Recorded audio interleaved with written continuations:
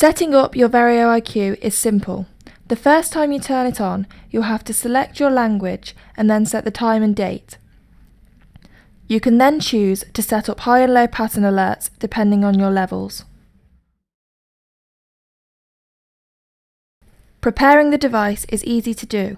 Just insert the lancet and twist off the tip.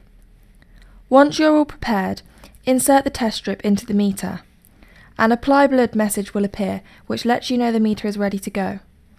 The One Touch Delica has a strength range of 1 to 7, so depending on your own preference, alter the lancing device accordingly and test. Once you're testing, the meter will count down from 5 and your result will then appear. Your meter will let you know whether your reading is in range or not, and if you have the pattern log set up, the Verio IQ will pick up on any patterns in high and low levels. Don't forget, you need to alert your doctor about your change of meter. You will need to change your prescription to the One Touch Verio test strips and your lancets to the One Touch Delica. A form is included in the box which you can fill in and pass on to your doctor or healthcare professional.